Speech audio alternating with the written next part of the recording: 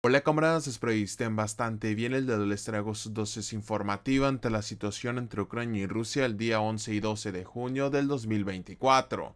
Comencemos con nuestro informe dando seguimiento a las noticias más importantes que han sucedido a lo largo de toda la línea del frente en las últimas 24 horas. Así que sin más preámbulos, primeramente pasémonos a temas en el aspecto internacional y geopolítico del conflicto, en donde el día de hoy sorprendentemente la administración de Biden permitirá después de 10 años que la unidad ucraniana de Azov use el armamento estadounidense. Esto es según lo que ha citado el medio de Washington Post, quien tiene fuentes directas a la Casa Blanca. Recordemos que hace una década Washington consideraba que los fundadores de Azov defendían puntos de vista racistas, xenofóbicos y ultranacionalistas, el cual causó que funcionarios de derechos humanos de la ONU acusaran al grupo de violaciones humanitarias. Esto es algo que ya se ha sabido por años y todo parece indicar que la administración de Biden ha levantado esas restricciones porque según lo que han dicho, que las autoridades estadounidenses después de una investigación llegaron a ninguna resolución, así que podrán utilizar el armamento que proporcione Estados Unidos, específicamente la unidad Azov.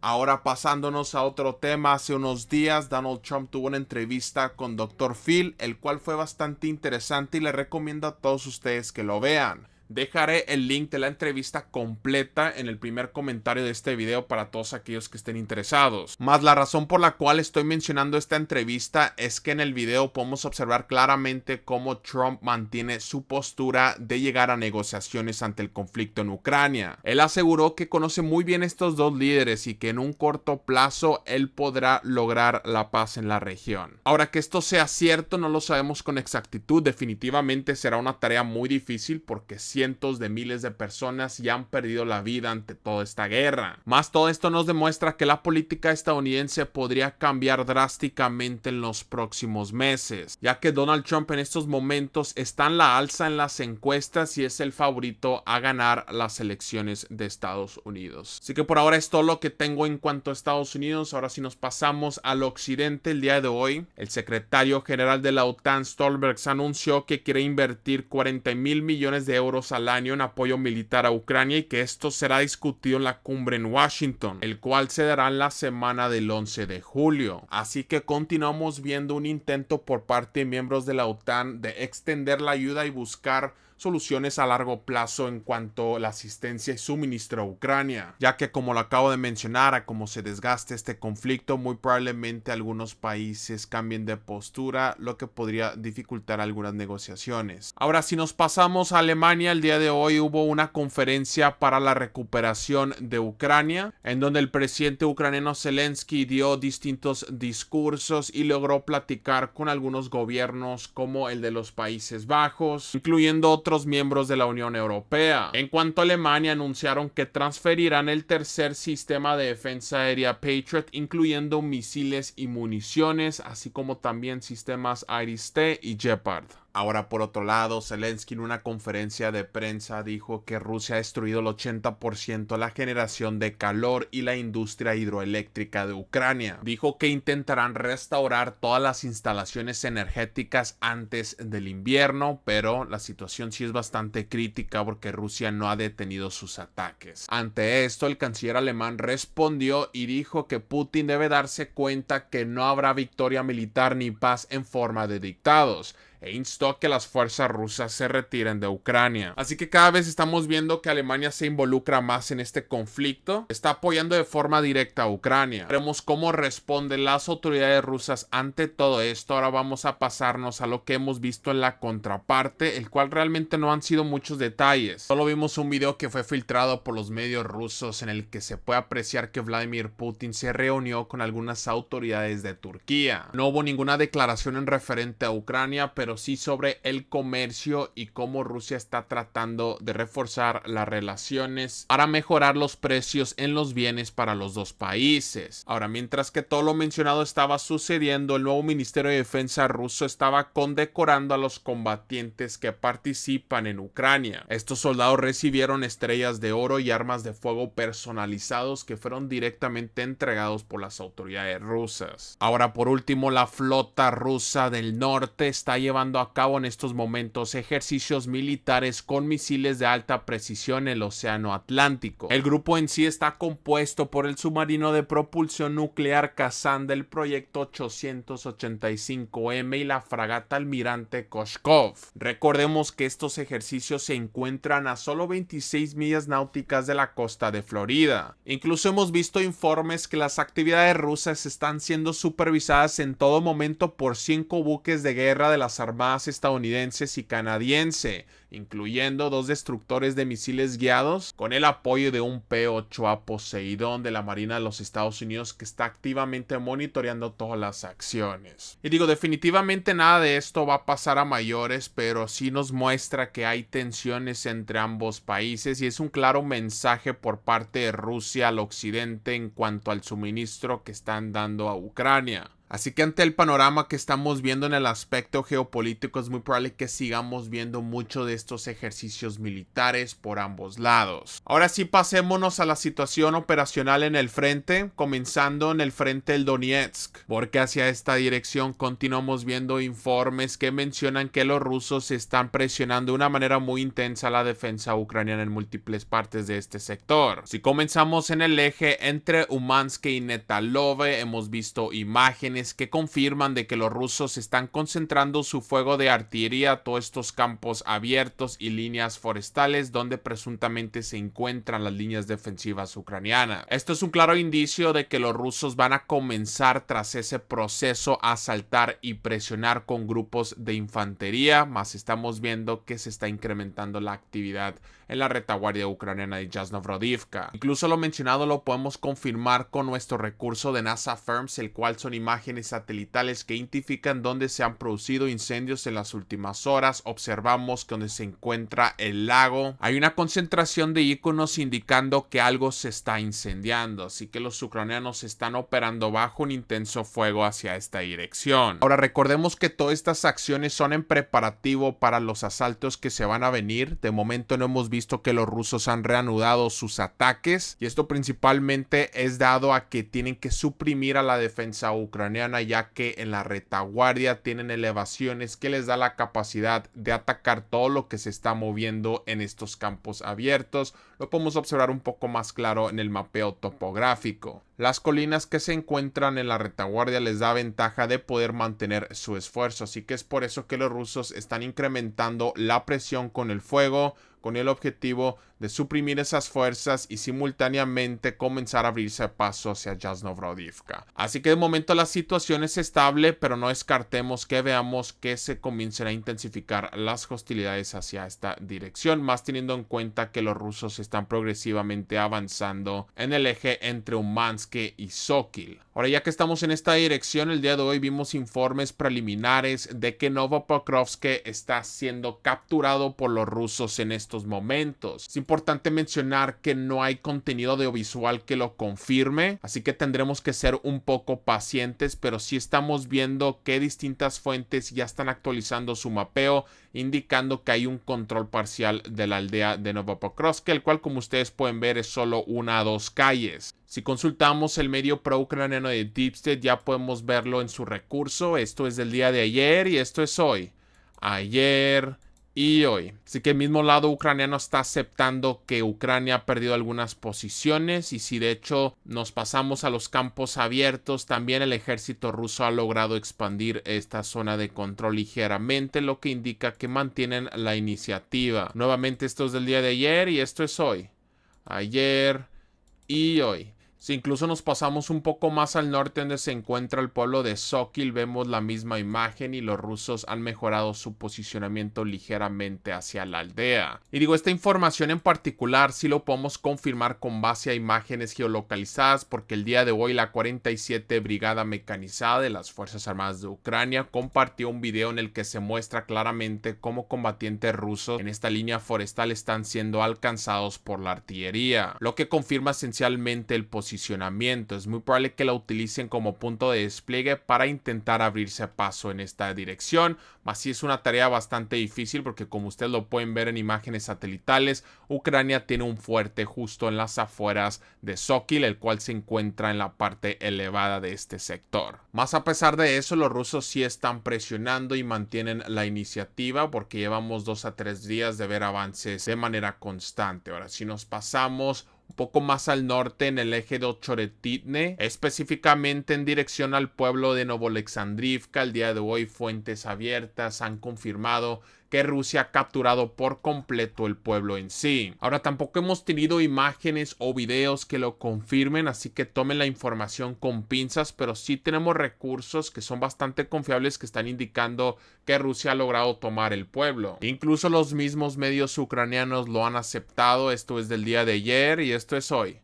Ayer, y hoy. Así que esta fuente en particular muestra que hay un control parcial, pero que la zona de la disputa se extiende hasta el final del pueblo, lo que indica que hay una presencia completa por parte de las fuerzas rusas. Si este es el caso, entonces en las próximas horas es muy probable que veamos videos de la bandera rusa izándose o más que nada de los enfrentamientos desarrollándose. De hecho, si consultamos nuestro recurso de NASA Firms, podemos observar que hay múltiples iconos de incendio en este eje de ataque, específicamente en el centro del pueblo de Novolexandrivka, lo que significa que algo se está quemando. Así que es muy probable que eso sea el resultado de los duros combates, así que la batalla continúa y en las próximas horas le daremos seguimiento. Ahora vamos a pasarnos al este de Ucrania donde se encuentra el frente entre Chasivyar y Bakhmut, comenzando en el flanco sur, en donde de momento todo ha sido naturaleza posicional y duelos de artillería, no hay reportes de asaltos, más si hemos visto el trabajo de los drones de ambos ejércitos, principalmente de la 28 Brigada Mecanizada de las Fuerzas Armadas de Ucrania, el cual está atacando y suprimiendo la defensa rusa. Eso incluye el trabajo conjunto de la 93 Brigada Mecanizada que también está participando en esas operaciones con drones. En cuanto a la artillería rusa, hemos visto que concentran su fuego en las afueras de Klishivka muy probablemente para suprimir a las fuerzas ucranianas y ablandar por completo todas estas posiciones en preludio de algún tipo de ataque.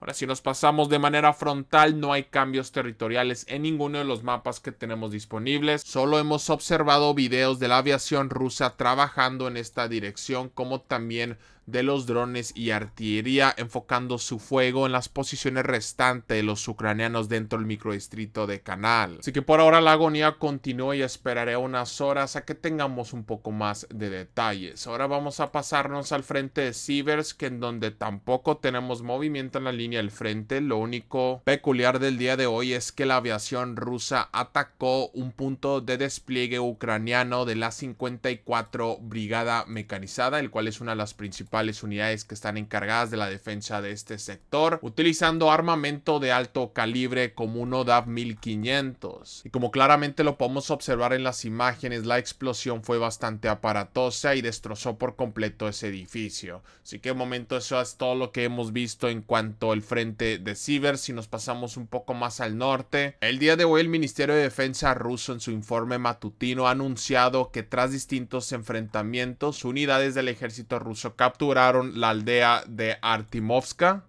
el cual se encuentra al sur de Stelmakivka y de hecho es un poblado que solo tiene una calle y algunas casas. Lo que estas acciones nos muestran son las intenciones por parte del comando ruso de flanquear la principal posición ucraniana que se encuentra de Stelmakivka, no solamente desde el norte, sino en el sur también. Porque recordemos que en el eje de Berestove también se ha estado desarrollando una presión mientras que simultáneamente de manera frontal se está bombardeando las posiciones ucranianas. Así que los rusos en estos momentos están creando condiciones favorables para una maniobra de pinzas con el objetivo de peligrar el posicionamiento defensivo. Recordemos vemos que Stelmakivka en sí es un pueblo bastante importante porque básicamente es el último poblado antes de llegar al río Oskil. Así que muy probablemente a cómo se estén acercando los rusos hacia esta dirección veamos un incremento progresivo de los enfrentamientos.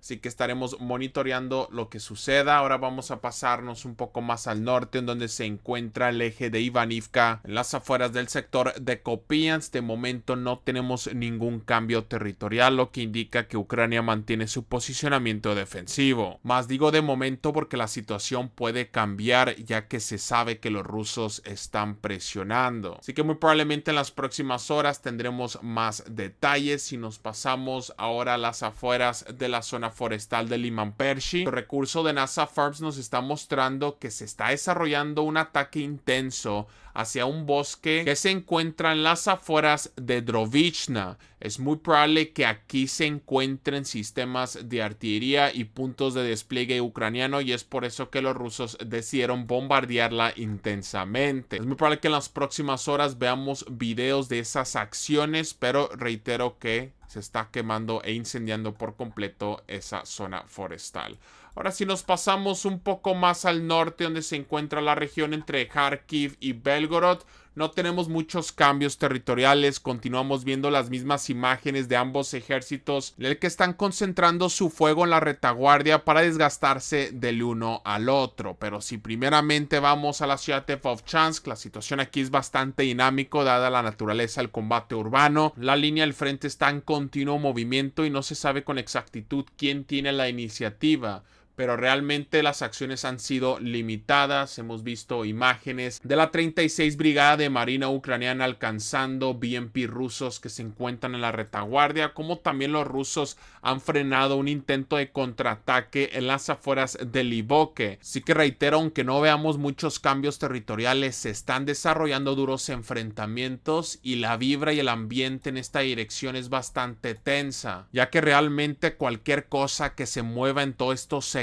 es alcanzado por uno o el otro. Así que vamos a esperar a que se den más detalles. Regresemos un poco al sur donde se encuentra el eje Durosaine. El día de hoy vimos imágenes de otro intenso bombardeo por parte de las fuerzas rusas. A este punto hay ataques sistemáticos a cualquier objetivo que se esté moviendo dentro de Urosaine, lo que dificulta mucho las operaciones defensivas. Y aunque Ucrania esté haciendo lo posible para resistir su posicionamiento, si Rusia mantiene esta constancia y presión en los ataques, es muy probable que se vean obligados a retirarse dentro de poco, ya que su flanco de Staramayorsk está siendo comprometida y muy probablemente los rusos también desde esa dirección van a desarrollar un eje de ataque y quizás un movimiento de pinzas para expulsar a los ucranianos de aquí por completo. Así que veremos en las próximas horas qué es lo que sucede pero definitivamente Urosain está bajo mucha presión. Ahora, si nos vamos al frente de Zaporizhia, no tenemos ningún cambio territorial, más si vimos un reporte interesante que muestra el trabajo del comando ucraniano en fortificar toda esta región. Incluso fuentes abiertas tienen un mapeo de donde se encuentra más o menos la línea defensiva y se puede apreciar que es en la retaguardia de Origiv. Así que Ucrania ya tiene su propia línea Surovikin y esto